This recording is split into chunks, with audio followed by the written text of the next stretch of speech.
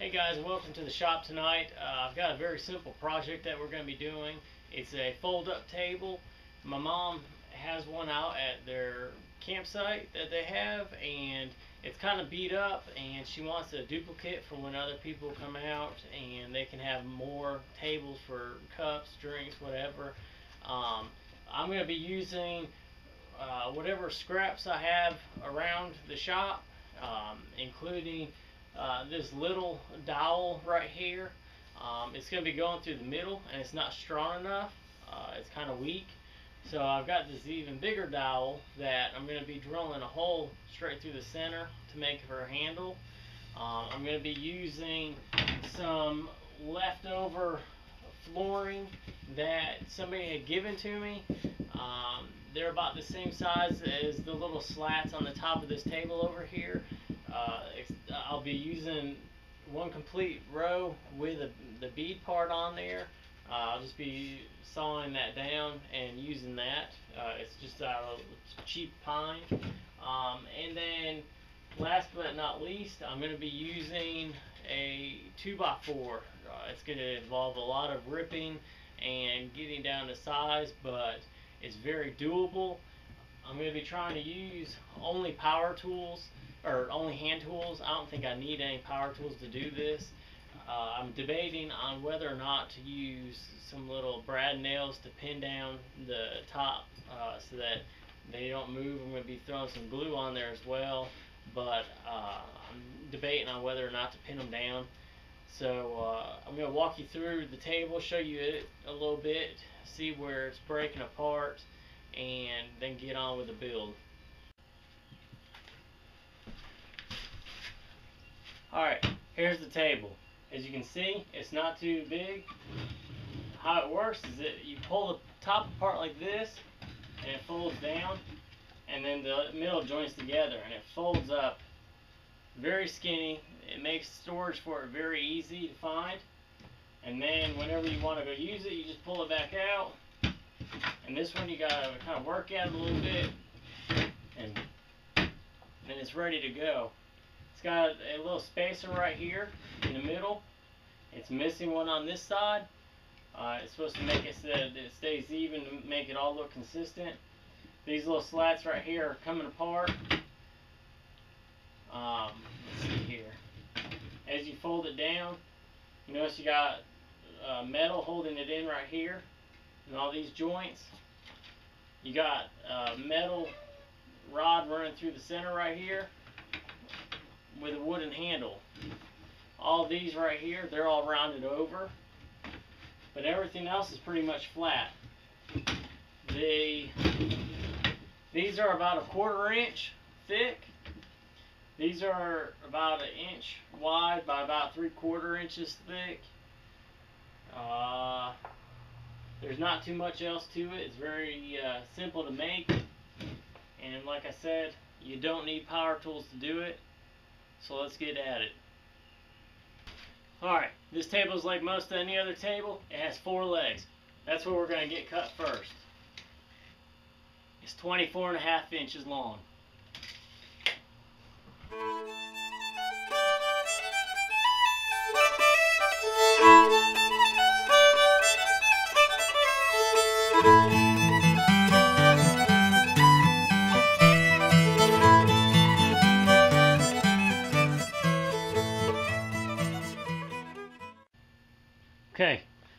After you've gotten your 24 and a half inch legs cut, you need to rip your 2x4 down to three and a quarter inches. To do that, it's helpful if you have a speed square. All you gotta do is put your pencil right in this little spot right here and draw right down the board with it.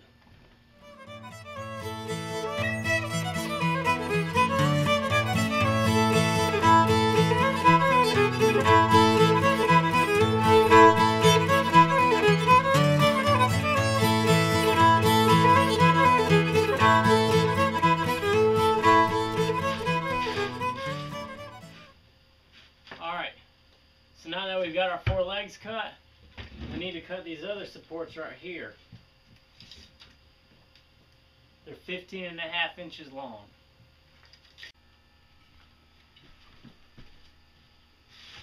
Alright, now, next step I'm going to be doing is creating these little feet. Uh, there's no real rocket science to it. Um, it'd be different if I didn't have a model here to kind of get my angle, but because I do, I can go ahead and measure the, the length of each of the legs. Now I told you that the longest part was 24 and a half. So what I need to do now is just find the short end, which is 24 inches. So what I'll do is just measure on one side. I'll get 24 inches and then uh, make a mark. Oops, fail. Good old mark. Here we go. And I'm gonna go ahead and mark 24 inches. Grab my square.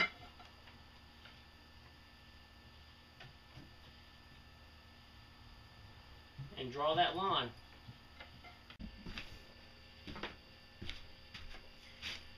Now you just gotta make a curve on the top. I just found this in the shop. I don't even know what it is.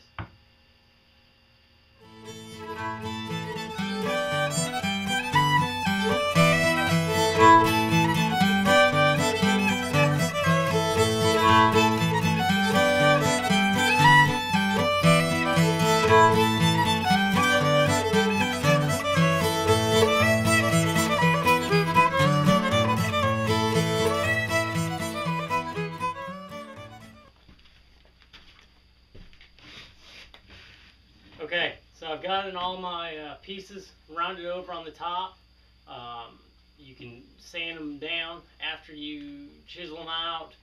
Do whatever you, however you got them that way, using a coping saw, whatever. However you got them rounded, you can take some sandpaper or something, smooth them out a little bit more, whatever. Um, but now we're on the part of actually drilling some holes. And we're going to start with this one right here in the middle. Now the measurement for that one from the lawn end is 13 and a half inches.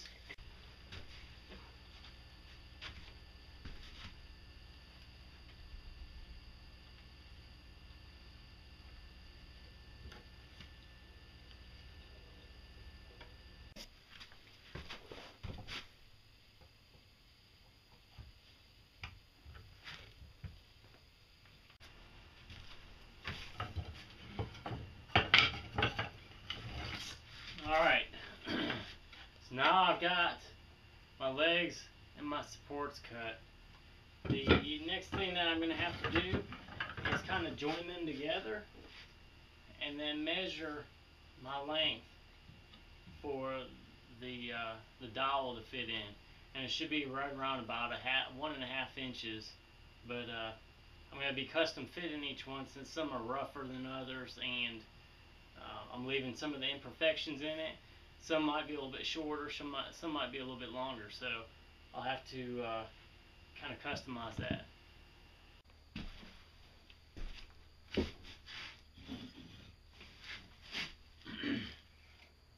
Alright, so I've got my two uh, two sets of legs now. Um, I had a design change in the middle of it. Instead of using the or boring that bigger dowel out, I had a piece of metal, uh, a little bar that or a pipe, and I'm just gonna use that, and it'll go over both ends once I put them together, and it'll give it pl uh, plenty of support uh, for being a handle to carry this thing around. Uh, so I had a design change right there, and now the next step after that is going to be actually cutting out all these little slats. And they are 19 and a half inches a piece. And there's 12 of them. So let's go ahead and rip down whatever you're using for your slats. Okay, so now we're at the point of where we need to put everything together. and the easiest way to do that is going to be by folding everything up. Okay, you got to make sure you, if you use a pipe or something like that, you got to make sure that you get that on before uh, before you attach everything, or else you won't be able to get it all, you won't be able to get it in there afterwards. Um, now we're going to measure up from the ground, see what uh, what our first one's going to be at, and it's at four and a half inches on the outside one.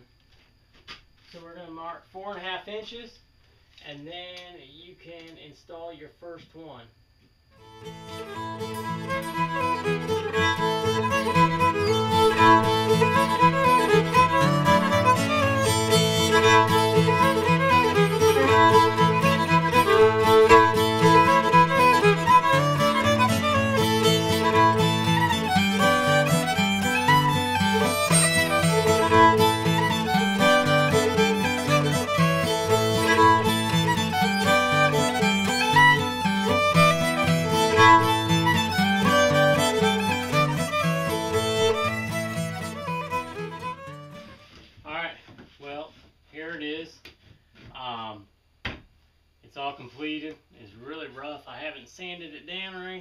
Finished it or anything like that.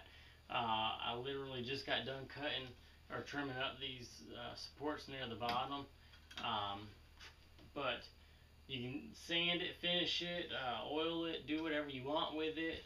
Um, it's very, like I said, it was very simple to make. It only took a, a little bit, especially with filming. It took a little bit longer, but uh, you know, it's got that nice handle, lightweight, maybe weighs maybe 15 pounds, and uh, built totally out of scrap wood out of my shop. And as you can see, it's a little bit lower when it when it's all closed up. It's a little bit lower than this one back here.